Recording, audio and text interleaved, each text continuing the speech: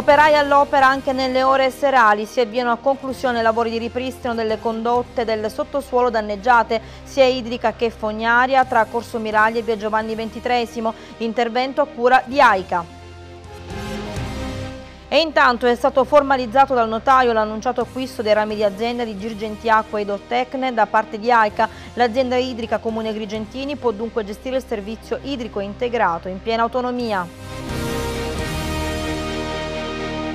Aumenta ancora la pattuglia di aderenti alla DC, sempre più nuovo Eldorado della politica saccense. Ultimi approdi quelli di Milioti e Rapisardi. Si apprende che come Bellanca anche Bentivegna e Venezia in Consiglio Comunale rimarranno civici.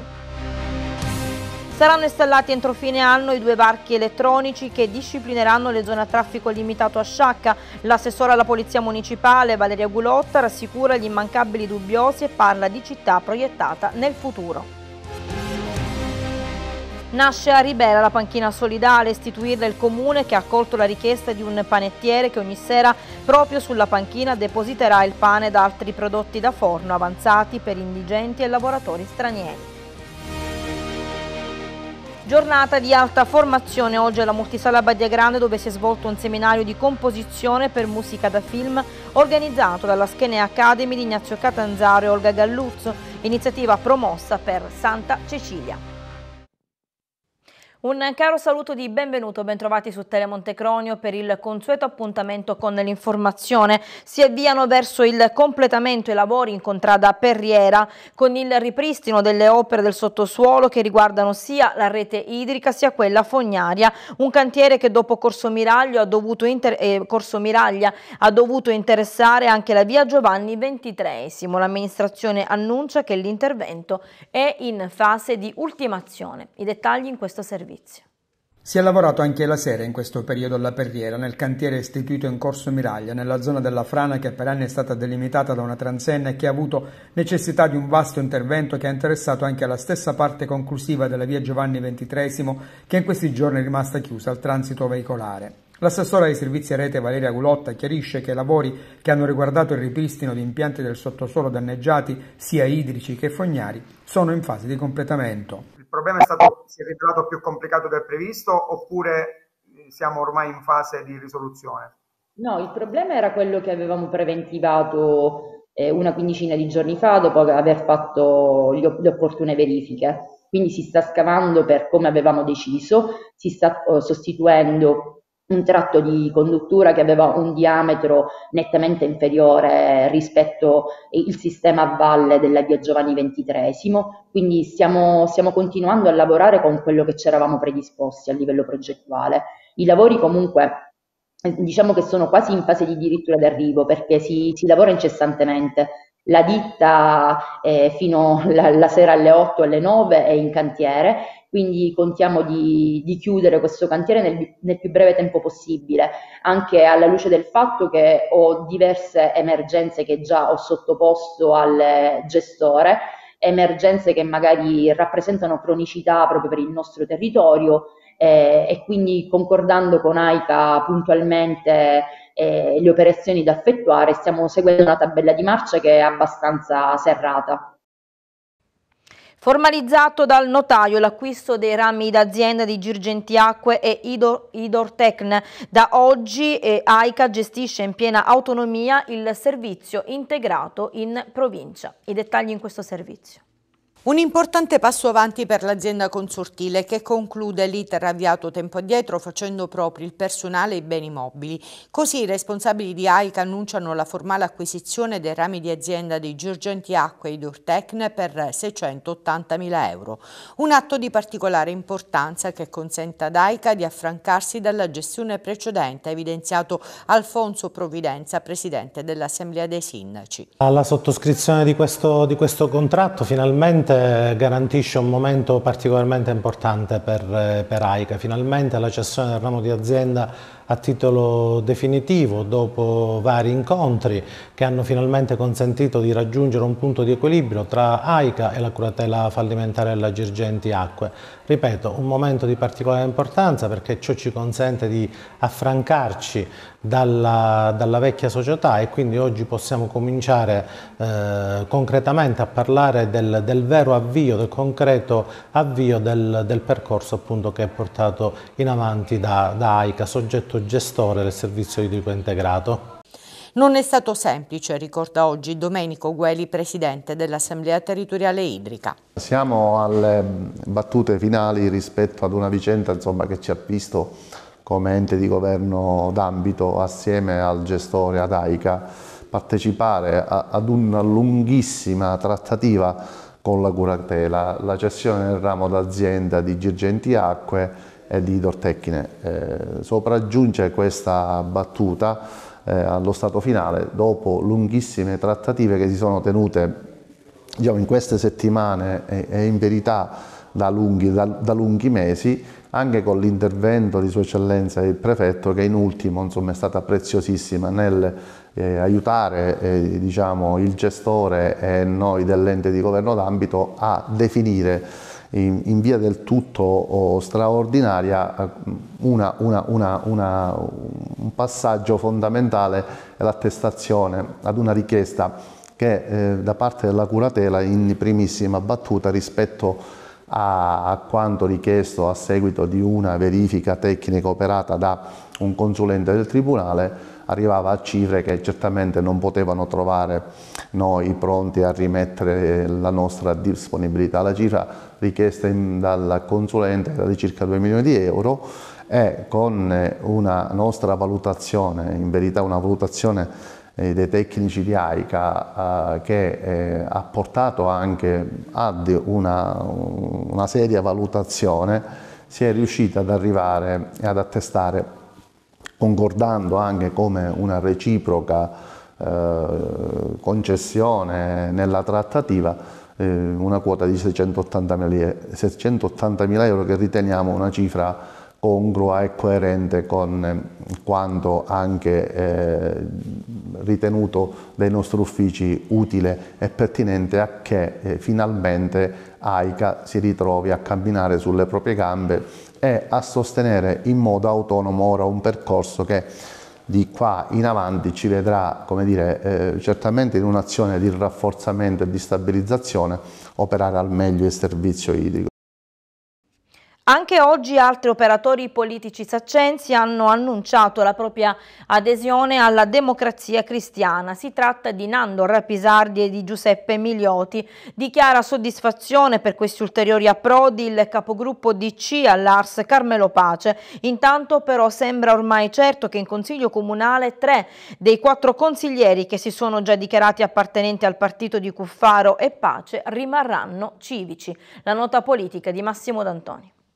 Continua ad aumentare la pattuglia di esponenti politici non solo a Sciacca attorno alla democrazia cristiana che è ormai da considerarsi come una specie di nuovo Eldorado della politica siciliana in generale e di quella agrigentina in particolare. È di tutta evidenza come l'avvenuta elezione di Carmelo Pace in quella lista, l'ex sindaco di Ribera aveva un nutrito gruppo di grandi elettori anche a Sciacca, a partire dall'ex assessore Alberto Sabella, abbia generato nuove condizioni di militanza, di visibilità e di possibile prospettiva politica tanto più che trattandosi di una forza dichiaratamente centrista può pescare serenamente sia di qua che di là.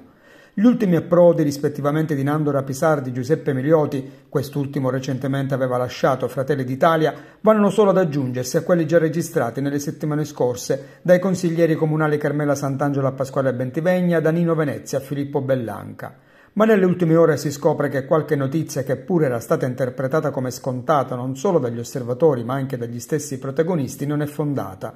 Da quanto si apprende infatti il gruppo consigliare Insieme per Sciacca continuerà ad essere regolarmente rappresentato in seno al Consiglio Comunale. Si pensava che Bentivegna e Venezia insieme alla Sant'Angelo avrebbero costituito il gruppo della DC e invece non sarà così. Sarebbe stato proprio Alberto Sabella, tra i principali ispiratori della lista, a puntare i piedi nei confronti di un progetto politico che continuerà a vedere naturalmente l'aggruppamento a fianco di Carmelo Pace, ma solo al di fuori di Sala Falcone Borsellino. E d'altronde anche Filippo Bellanca nei giorni scorsi, pur dichiarando la sua adesione alla democrazia cristiana nuova, ha avvertito tutti che il gruppo consigliare Sciacca 2022 rappresentato da lui e da Paolo Mandracchia rimane in vita. Insomma, al momento l'unica a dichiararsi in consiglio comunale un esponente del partito rifondato da Toto Cuffaro è stata Carmela Sant'Angelo. In effetti, cercando di interpretare le scelte politiche, la situazione contingente impedisce ragionevolmente quelle che potrebbero trasformarsi in pericolose fughe in avanti. Le ragioni sono diverse. La prima, la questione del ricorso al TAR di Messina, con la speranza di colui che nel frattempo è diventato presidente del Consiglio Comunale di potersi vedere accordato dalla giustizia amministrativa il sovvertimento del risultato elettorale amministrativo. Se fosse questa la piega che dovesse prendere la questione, rientrerebbero in gioco aspettative e riequilibri. Se per pura ipotesi per dire in Consiglio Comunale nascesse un gruppo consigliare della DC, questo sarebbe composto da ben tre assessori designati da Messina, decisamente troppi per una sola forza politica, ancorché in ascesa e piena di soggetti che in futuro potrebbero essere pronti, come dire, a saltare sul carro del vincitore. Non va sottaciuta però un'altra ipotesi chiaramente alternativa alla prima. Si parla della possibilità che da parte di questi soggetti politici, in primis proprio quelli di Insieme per Sciacca, possa esserci un orientamento possibilista a sostenere l'amministrazione Termine cosa di cui l'attuale sindaco avrebbe bisogno come il pane perché gli permetterebbe di fronteggiare e eventualmente superare la questione dell'attuale mancanza della maggioranza numerica in aula, che non è certamente un problema di poco conto. È chiaro che Fabio Termine potrebbe gradire di più nuovi sostegni da parte di liste civiche piuttosto che di un nuovo partito, anche se rimarrebbe intatta la questione del costo politico da sostenere di questa eventuale operazione. E a proposito delle ultime adesioni, quelle odierne, va detto che Giuseppe Milioti, ex consigliere comunale, è stato nominato coordinatore del collegio elettorale, mentre Nando Rapisardi, ispiratore della lista Insieme per Sciacca, è stato nominato responsabile regionale DC del Dipartimento del Terzo Settore. La DC, dice Carmelo Pace soddisfatto, cresce in tutto il territorio di Agrigento, sono tante le adesioni che abbiamo ricevuto negli ultimi giorni, sono sicuro che aumenteranno. Le nomine di Rapisardi e Miglioti consentono di lavorare ancora più intensamente per dare risposte immediate ai cittadini e rilanciare il territorio, fornendo ciascuno il proprio contributo per la rinascita della Sicilia. Ospedale di Ribera, il comitato zona disagiata prende atto delle recenti dichiarazioni rilasciate alla nostra emittente dal commissario dell'ASP rispetto ad una imminente riapertura del pronto soccorso, ma ritiene che l'obiettivo da perseguire sia quello del riconoscimento di ospedale di zona disagiata. Per troppi anni, sostengono, si è parlato del pronto soccorso del Fratelli Parlapiano come se fosse addirittura abusivo. Sentiamo. Le recenti dichiarazioni rilasciate alla nostra emittente dal commissario dell'ASP Mario Zappi hanno rassicurato, ma solo in parte, i componenti del comitato zona disagiata. Prendono atto della possibile imminente apertura del pronto soccorso liberese, ma esprimono perplessità su come questo oggi sia possibile senza il riconoscimento di ospedale di zona disagiata, che garantirebbe per sempre, aggiungono, l'attivazione di un pronto soccorso H24 con un organico medico dedicato all'emergenza senza urgenza. Insomma, fiducia unita a scetticismo perché per troppi anni, evidenziano, abbiamo assistito ad un depauperamento del presidio riberese e per troppi anni ci siamo sentiti dire che il nostro pronto soccorso fosse addirittura abusivo. Nonostante gli ingenti investimenti effettuati, quelli che hanno consentito al Fratelli Parlapiano di diventare realmente un ospedale durante l'emergenza Covid, con la prospettiva di un rilancio legato alle malattie infettive, così come alla pneumologia, il neocomitato costituitosi a Ribera ritiene che la strada da percorrere sia quella di ottenere il riconoscimento di ospedale di zona disagiata, che preveda così reparti e servizi ritenuti essenziali. Comitato che sta lavorando ad un documento condiviso dagli operatori sanitari da consegnare alla deputazione regionale in occasione della manifestazione già indetta per il 19 dicembre prossimo davanti il presidio ospedaliero Fratelli Parlapiano, così come alla conferenza dei sindaci dell'area interna delle terre sicane finalizzata all'approvazione di un atto di indirizzo da parte di tutti i consigli comunali interessati. Si sta attendendo inoltre l'insediamento della Commissione Salute dell'ARS per chiedere un'audizione alla presenza del neoassessore Giovanna Volo. La nuova classe politica regionale, così come la direzione strategica dell'ASP, ribadisce oggi Giovanni Montalbano, coordinatore del comitato, devono fare tesoro degli errori commessi in passato ed avere una visione dell'offerta sanitaria del territorio che passi dai nuovi fondi del PNRR per il potenziamento dei servizi territoriali, ospedali di comunità e case di comunità e dal necessario riconoscimento del presidio riberese come ospedale di zona disagiata, oltre al potenziamento del presidio ospedaliero saccense, dicono, attraverso l'attivazione della neurologia e della stroke unit. Sulla questione primaria che riguarda la carenza di personale sanitario, il Comitato Riberese chiede che venga sfruttato l'accordo quadro del 2020 tra Regione e Università per adoperare gli specializzandi, indipendentemente dalla branca medica, nelle strutture ospedaliere dove vi è carenza. Saranno disponibili entro il 31 dicembre i dispositivi che disciplineranno in maniera elettronica le zone a traffico limitato acquistate dall'amministrazione Termine con accessi che saranno disciplinati da un software che registrerà la targa del veicolo che violerà il varco senza avere diritto con conseguenza della multa. È un'altra iniziativa che ci proietta verso il futuro, dice Valeria Gulotta, con cui abbiamo parlato anche del ritorno del parchimetro elettronico per il parcheggio in piazza Mariano Mariano Rossi. Sentiamo.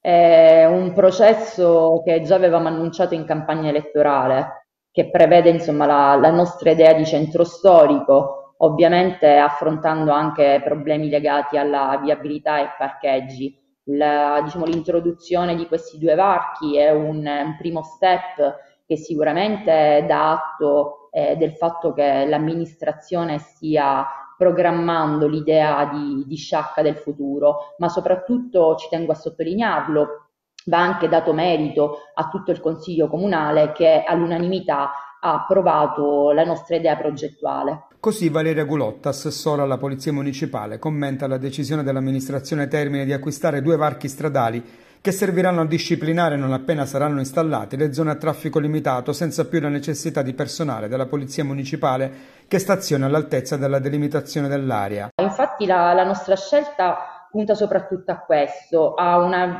alla luce del fatto che comunque è ben noto che l'organico del, del comune eh, non, non, versa in un'ottima situazione. E poi oltretutto le transenne comunque devono essere applicate e tolte eh, mentre il varco che è dotato di una segnaletica verticale e dei pannelli che indicano se il varco è attivo o meno, quindi è un sistema pure che eh, diciamo anche a livello eh, paesaggistico dà, dà, meno impatto, cioè non, non, avremo la transenna che delimita il traffico limitato o il, il personale della polizia municipale o della protezione civile che spesso c'è di supporto, ma sarà tutto automatico.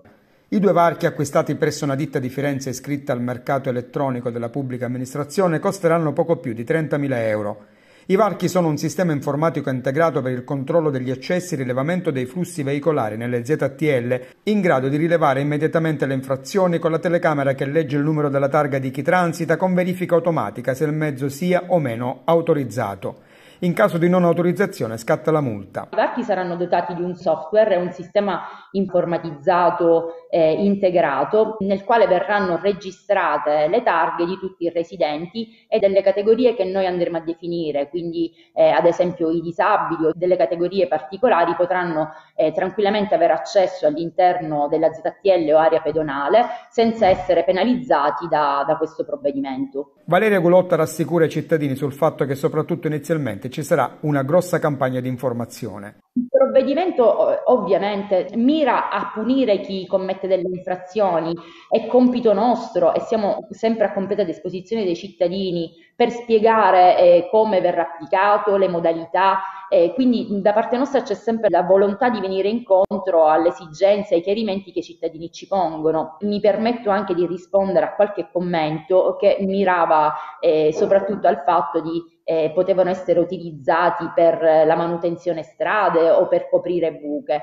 Intanto queste, queste somme sono state prese dai, dai ristori, quindi dovevano avere eh, finalità turistiche eh, e quindi abbiamo scelto di partire dal centro storico. Inoltre anche eh, il Consiglio Comunale ha approvato un'ingente somma eh, sia per la manutenzione strade che per l'acquisto di materiale per la sistemazione buche, quindi non ci stiamo muovendo soltanto in una direzione, eh, le, le, scelte dell'amministrazione si si ramificano su, su diverse eh, problematiche, sulla soluzione di, di, di diverse problematiche legate anche alle strade e alla manutenzione. Il varco deve essere collocato entro il 31 dicembre, perché questa era la destinazione di queste cifre, dovevano essere utilizzate entro il 31 dicembre. Poi così Valeria Gulotta sui parcheggi che a breve saranno regolamentati da parchimetro con ticket all'ingresso e pagamento all'uscita.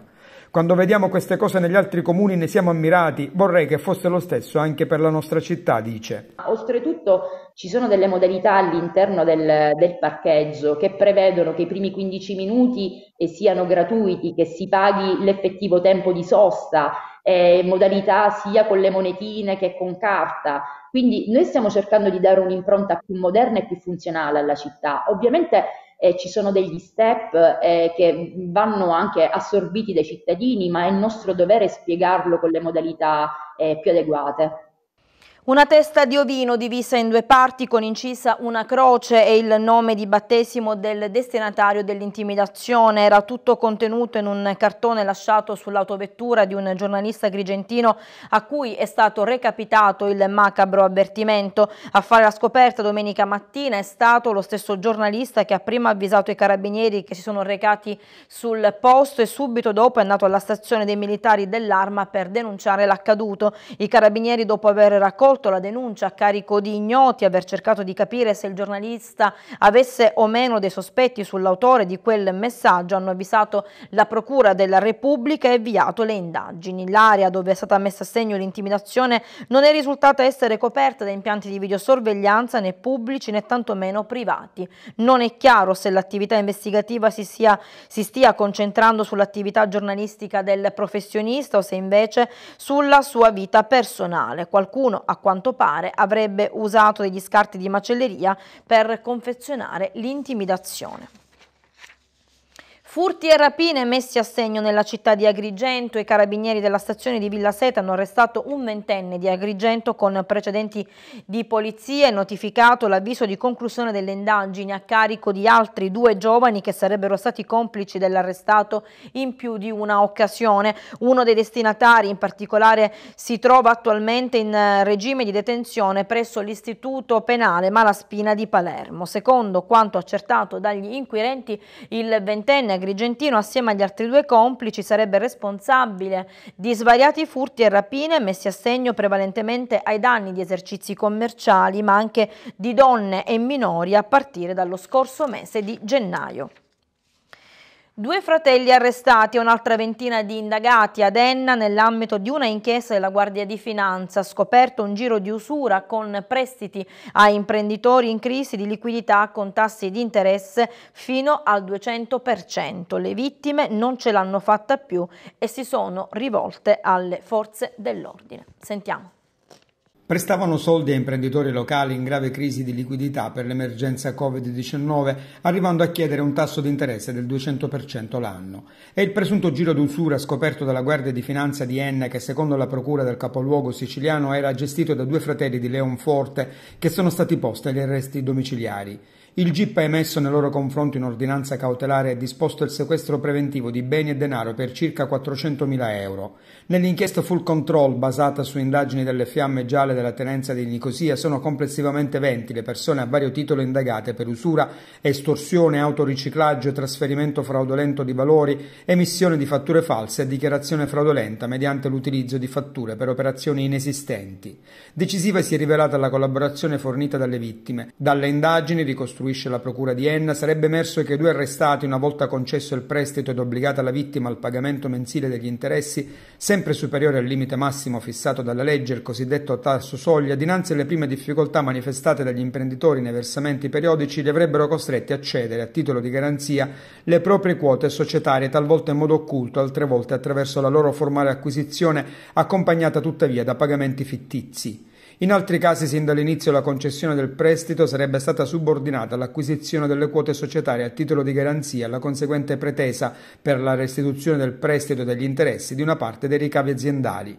In seguito, se le attività o i ricavi dalle aziende non si rivelavano sufficienti a garantire il pagamento degli interessi e la restituzione del capitale, veniva richiesto alle vittime quale garanzia aggiuntiva il rilascio di cambiali firmate in bianco, con l'intento in tal modo di prolungare il più possibile, anche con violenza e minacce, l'attività usuraria degli arrestati.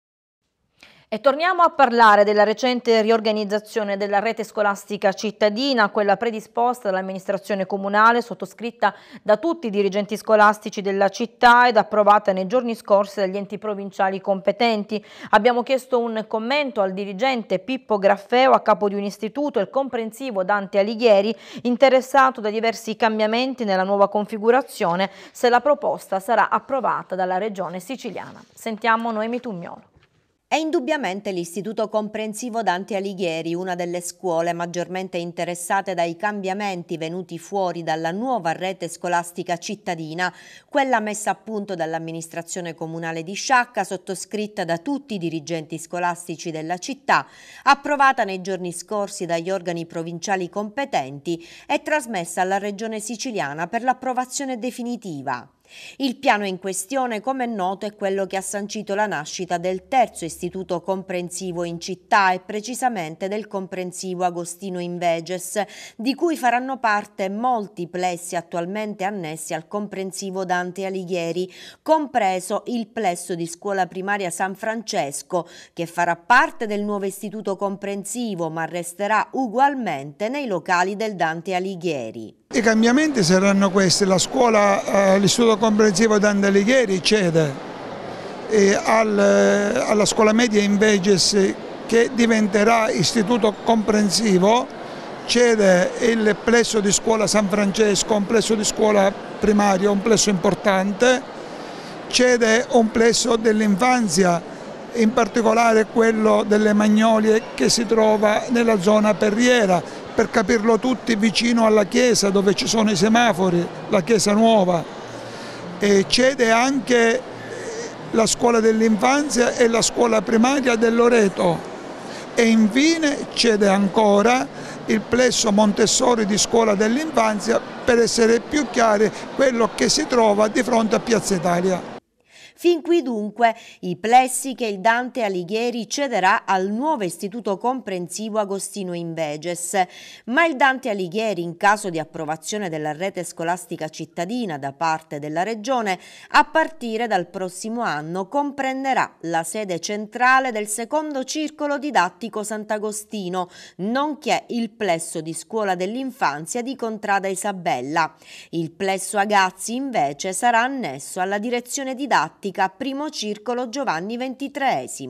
Viene accorpato, viene aggregata la sede centrale della direzione didattica Sant'Agostino che al di là dei numeri che pure sono tanti è una scuola importante per la città di Sciacca una scuola che io stesso ho frequentato, è una scuola che a Sciacca credo è da più di 70 anni, è una scuola che porta dietro un'esperienza davvero importante.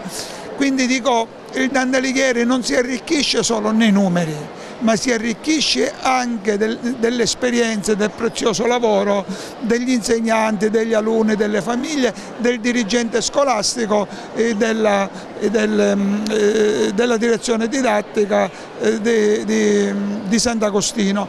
E poi ancora alla, Scatur, alla Dandalighieri viene accorpato il piccolo plesso di scuola dell'infanzia che si trova in contrada Isabella quindi qual è la configurazione finale?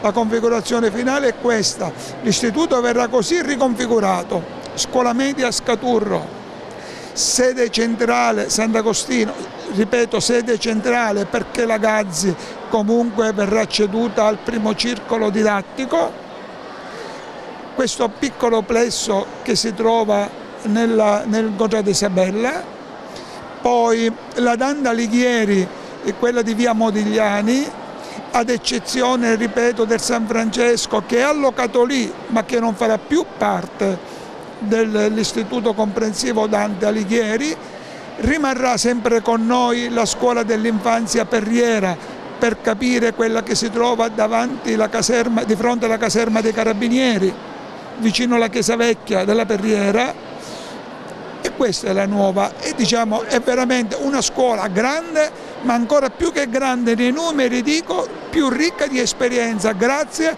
alla direzione didattica di Sant'Agostino. In totale dunque saranno quattro le direzioni scolastiche. Primo circolo Giovanni XXIII, comprendente in base alla nuova configurazione i plessi di Scuola dell'Infanzia De Gasperi, Mazzini, San Vito, Mascagni e Agazzi e i plessi di primaria Giovanni XXIII, Fazzello e San Giovanni Bosco. Istituto comprensivo Mariano Rossi che comprende i plessi di Scuola dell'Infanzia di Via Campanella e Via De Nicola, la primaria Mariano Rossi e la secondaria di primo grado di Via De Nicola. Il comprensivo Dante Alighieri con i plessi Infanzia, Isabella, Sant'Agostino e Perriera, primaria Sant'Agostino e Alighieri e secondaria di primo grado Ignazio Scaturro ed infine il nuovo comprensivo Inveges che comprenderà i plessi di scuola dell'infanzia Montessori, Magnoli e Loreto, i plessi di primaria San Francesco e Loreto e la scuola media Inveges, quattro istituti con una media di 900 alunni ciascuno. Sono stati consegnati e sono già iniziati i lavori di manutenzione straordinaria su alcune strade provinciali, tra queste la provinciale 26 Stefano Quisquina, confine provincia di Palermo e la 75 Siculiana Montallegro. Si tratta di interventi per il ripristino delle condizioni di sicurezza, il rinnovo della segnaletica e la rimozione di frane e cedimenti vari che purtroppo interessano gran parte della rete viaria provinciale in seguito agli eventi atmosferici di una certa intensità. Inaugurata a Ribera la panchina solidale, una nuova iniziativa per aiutare chi è in difficoltà scaturita da Maurizio Termine, titolare di un panificio in via Roma che ogni sera alla chiusura della propria attività lascia pane ed altri prodotti da forno avanzati mettendoli a disposizione di chi ne ha bisogno. Noi ce ne occupiamo in questo servizio. Maurizio Termine è il titolare di un panificio a Ribera. Ogni sera alla chiusura della propria attività metteva a disposizione pane e altri prodotti da forno avanzati e ha pensato bene di chiedere all'amministrazione di collocare una panchina dove lasciare questi prodotti. Il fratello fedele, panificatore a Caltanissetta da oltre un anno, mette a disposizione di chi ha bisogno i prodotti non venduti nell'arco della giornata lasciandoli su una panchina. E così anche Maurizio ha chiesto al presidente del Consiglio Comunale Vincenzo Costa e al sindaco Matteo Ruvolo la possibilità di collocare in via Roma davanti al suo panificio la panchina solidale che è stata benedetta da padre Antonio Nuara. È un'iniziativa che è scaturita da un'idea di, Maurizio, il nostro amico Maurizio che aveva bisogno di una panchina e lo scopo era non soltanto quello che la panchina di giorno può servire a tanti anziani che magari vengono a ritirare il pane possono avere un momento anche per sedersi, ma soprattutto lo scopo è quello di realizzare la cosiddetta panchina solidale, eh, iniziativa che già era stata fatta dal fratello e che Maurizio ha voluto fare anche nella nostra vita.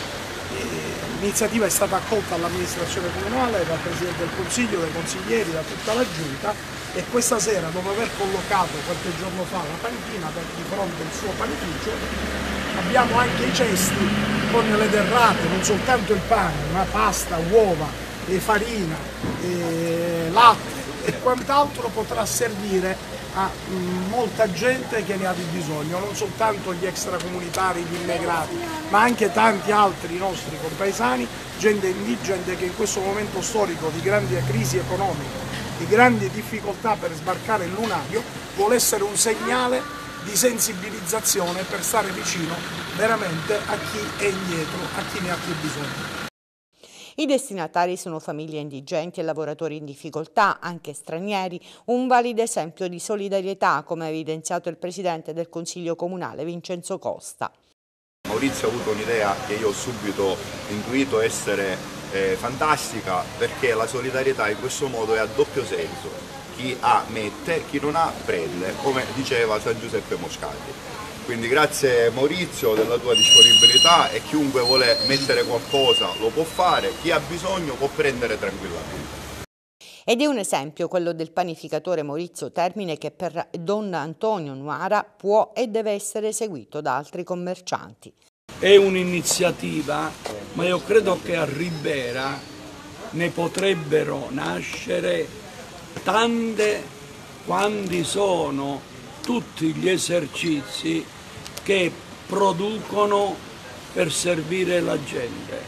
Ci sono i bar, ci sono le pizzerie, ci sono i ristoranti, ci sono i negozi di genere alimentari che potrebbero ecco, continuare e completare quest'opera per poter aiutare più gente che sia possibile. Sono di quei gesti che nobilitano l'uomo e nello stesso tempo manifestano che l'altro per noi credenti è il fratello che ha fame e noi gli diamo da mangiare. All'inaugurazione della panchina solidale Ribera era presente anche la responsabile della Caritas Esa Fontana che ha citato altri validi esempi di altruismo, in particolare le donazioni che da tempo vengono effettuate da sei panificatori riberesi. Mettono a disposizione della Caritas il pane del giorno prima e soprattutto durante l'emergenza Covid, evidenziato Esa Fontana, hanno dimostrato una grande generosità verso il prossimo. Giornata di alta formazione oggi a Sciacca dove si è svolto un seminario di composizione per musica da film organizzato dalla Schene Academy in occasione della festa di Santa Cecilia, patrona dei musicisti, e rivolto a studenti di conservatori, accademie e scuole di musica di tutta la Sicilia. Vediamo. Studenti di conservatori, accademie e scuola di musica di tutta la Sicilia, ma anche tanti musicisti questa mattina a Sciacca per un momento di alta formazione. Alla multisala Badia Grande si è svolto un seminario di composizione per musica da film organizzato dalla Schenea Academy di Sciacca, l'Accademia di Musica, Arti Sceniche, Arti Figurative Applicate e Lingue, in occasione della festa di Santa Cecilia, patrona dei musicisti. Steve.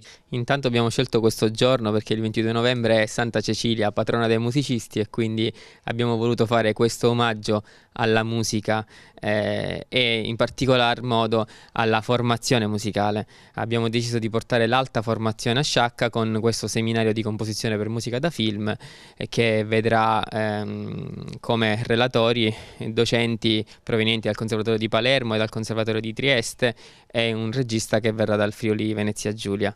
Per noi è un momento veramente importantissimo ehm, perché in questa giornata eh, avremo studenti provenienti da tutti i conservatori di Sicilia e anche musicisti esterni. Relatori i maestri Giuseppe La Rosa e Virginio Zoccatelli, rispettivamente compositore e didatta dei conservatori di Palermo e Trieste, con la partecipazione straordinaria del regista Thomas Turolo del Friuli Venezia Giulia. Oggi eh, parleremo appunto della della scrittura per musica da film, eh, delle varie tecniche e poi il, il regista mh, mm, parlerà proprio dell'impostazione di un film e anche di documentari. E alla fine ci sarà la proiezione di un film che, hanno, che ha realizzato lui, in, nello specifico con le musiche del maestro Zoccatelli che è l'altro mio collega di composizione. Quindi è un momento importante per la crescita professionale dei nostri ragazzi, vengono da tutte le parti della Sicilia, quindi c'è una grande affluenza, partecipazione dei ragazzi ed è importante, importante per creare dei momenti di formazione eh, che possono essere anche nello specifico per Sciacca un momento anche di visibilità, di, di, di promozione del territorio. Inutile dire come la Sicilia da anni sia terra di musica, di musicisti e anche terra di cinema. Naturalmente l'interesse è che ci sono ancora tante storie, tante narrazioni da rappresentare anche attraverso questi due linguaggi che sono oggi prevalenti e quindi il nostro interesse è indagare attorno a questi linguaggi anche con un auditorium di professionisti che si affacciano a queste professioni non c'è film senza musica, no? Cioè nel senso per tutti quelli che fanno audiovisivo spesso e volentieri la cosa più importante quando fai il prodotto finito è avere la musica e il suono che siano perfetti. Guardi sempre delle immagini magari anche disturbate con una buona musica, ma viceversa non guardi delle immagini bellissime se la musica o il sonoro non è buonissimo. Poi insomma la musica è l'accompagnamento del film, l'emozione del film, no? senza è difficile immaginare una scena, per cui è, per noi è fondamentale in qualunque cosa facciamo. L'iniziativa è stata patrocinata dallo Sciacca Film Fest e dal Comune, assessorato alla cultura. Sappiamo l'importanza della colonna sonora all'interno del film, noi l'abbiamo contestualizzato quest'anno, è una sorta di anticipazione delle quattro giornate dello Sciacca Film Fest che si terrà eh, nella nostra struttura dall'1 al 4 di, di, dicembre, per cui riteniamo che questo ed altri momenti che potremmo organizzare visto che siamo in una fase in cui stiamo uh, trovando nuovi contatti, quindi nuove possibilità, nuovi rapporti, ecco, per andare a fare del festival una nuova cosa al, già a partire dai prossimi anni. È una giornata di confronto, di crescita, di educazione, di ehm, di crescita proprio culturale perché la musica dà fantasia, creatività, ovviamente poi ci sono tante, vengono tanti maestri di fuori, ovviamente è anche un modo per far conoscere sempre la nostra città, quindi che ben vengano queste iniziative che possono ecco, arricchire non solo i ragazzi che partecipano ma tutti, perché è una crescita che riguarda tutti questi, questi eventi.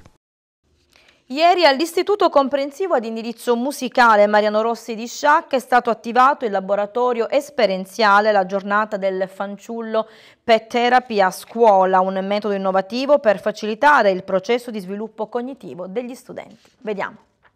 Nell'ottica di una strategia metodologica innovativa e sperimentale finalizzata a facilitare il processo di sviluppo cognitivo ed emotivo negli studenti, all'Istituto Comprensivo ad indirizzo musicale Mariano Rossi di Sciacca si è svolto ieri il primo dei due incontri del laboratorio di Pet Therapy rivolto agli alunni delle classi quinte della scuola primaria interne ed esterne all'Istituto. L'iniziativa si pone l'obiettivo di creare momenti di raccordo pedagogico ed emozionale tra gli alunni e i cavalli e all'intento di sviluppare la capacità di sapersi mettere in gioco, superando le difficoltà che in particolari condizioni di stress e conflittualità si possono presentare. L'attività ha visto la partecipazione di numerosi alunni provenienti da diverse scuole del territorio in un reciproco scambio di incontro e confronto e nell'interesse comune a tutta la comunità educante, e cioè stare bene a scuola. L'iniziativa è stata promossa dalla dirigente dell'Istituto Comprensivo Mariano Rossi Paola Triolo ed ha coinvolto diversi insegnanti della scuola ed il professore Roberto Fasulo, esperto interno ed istruttore del centro ippico La Criniera di Sciacca. Il prossimo incontro è in programma il 16 dicembre. Ieri presso l'Istituto Comprensivo Luigi Pirandello di Mazzara del Vallo è stato siglato il patto di gemellaggio tra l'Istituto Mazzarese e l'Istituto Comprensivo Statale Dante Alighieri di Sciacca. Questa collaborazione, fortemente voluta da due dirigenti scolastici dei rispettivi istituti all'indirizzo musicale, Antonina Marino e Pippo Graffeo, arricchisce l'offerta formativa di entrambe le scuole. La finalità principale del gemellaggio è quella di favorire la collaborazione tra le due istituzioni scolastiche attraverso la progettazione e la realizzazione di concerti in condivisione tra le due orchestre, proponendo un contesto educativo complessivamente più efficace all'apprendimento della pratica musicale. Inoltre le reciproche visite favoriranno la conoscenza e la valorizzazione del patrimonio culturale delle città di Sciacca e Mazzara del Vallo. Adesso spazio alla rubrica Il libro del giorno. Nella Vienna di fins de siècle, abbandonato da Liu Salomé giovane donna dal fascino incantevole con cui ha condiviso un esaltante menage a trois, Friedrich Nietzsche, schivo, solitario, sociale, in preda a una disperazione estrema che gli ha fatto tentare più volte il suicidio. Uno stato che si manifesta con una moltitudine impressionante di sintomi, emicrania, parziale cecità, nausea, insonnia, febbri, anoressia. Gli è accanto Joseph Breuer, stimato medico ebreo, futuro padre fondatore della psicanalisi, che sottopone il filosofo alle sue cure, basate sulla convinzione che la guarigione del corpo passi attraverso quella dell'anima.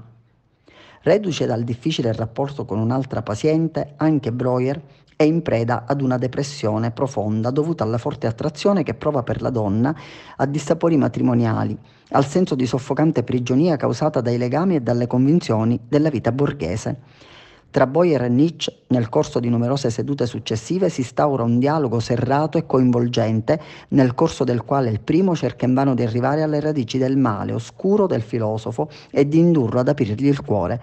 Alla fine il medico ha l'idea risolutiva. Vestiti i panni del paziente e confessando tormenti, pene e preoccupazioni a Nietzsche, riesce a infrangerne l'impenetrabile isolamento e a provocare in lui una liberatoria catarsi emotiva. Le lacrime di Nietzsche, di Irvin Yalom, edito Neri Pozza.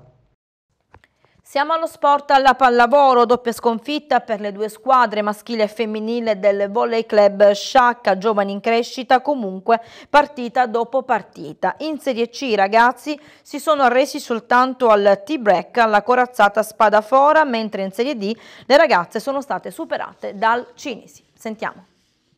Proseguono i campionati del Volley Club Sciacca. Durante il fine settimana le due squadre del sodalizio saccense hanno fatto registrare due battute d'arresto, ma si segnalano ampi margini di crescita e il miglioramento dei più giovani partita dopo partita.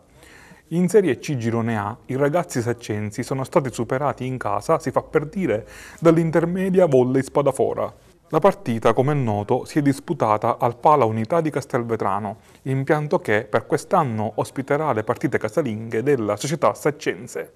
I messinesi si sono imposti però soltanto al tie break, 2 a 3 il risultato finale, frutto di questi parziali, 25 a 22 e 29 a 27 per i padroni di casa, con il Volley Club Sciac che quindi era inizialmente avanti di 2 set poi la rimonta degli ospiti per 21 a 25, 26 a 28 e 8 a 15.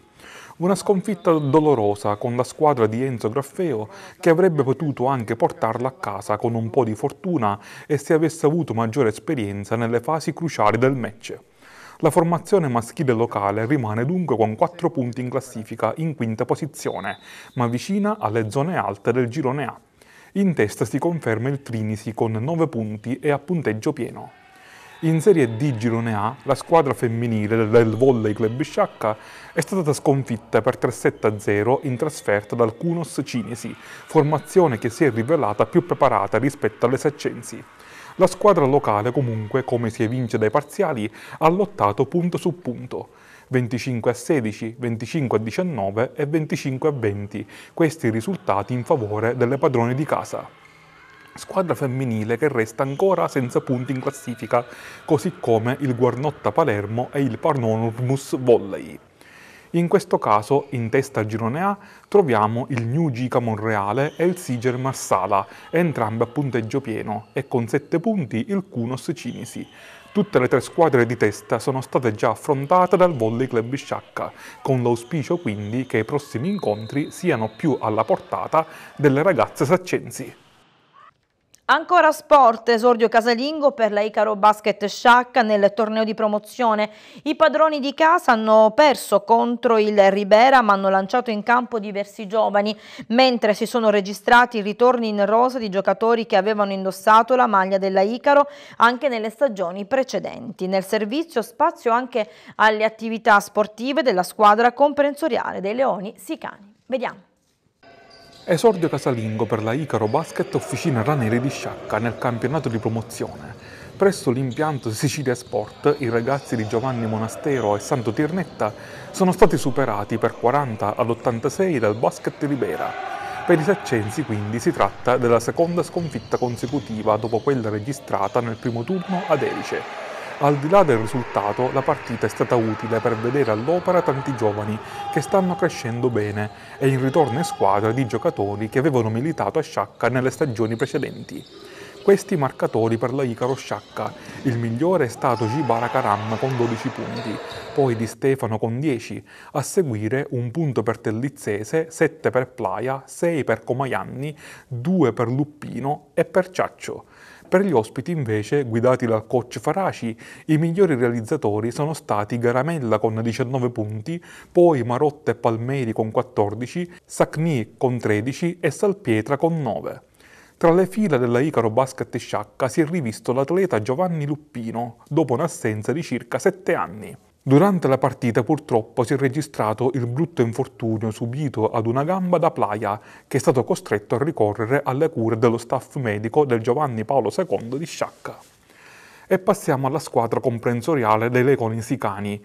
In attesa dell'inizio del nuovo campionato di hockey su carrozzina elettrica, i Leoni Sicani hanno esordito nel torneo di Power Char Football, la squadra belicina è stata superata in trasferta per 4-1 dai Red Cobra Palermo, nel corso di un incontro che si è svolto al Palamangano.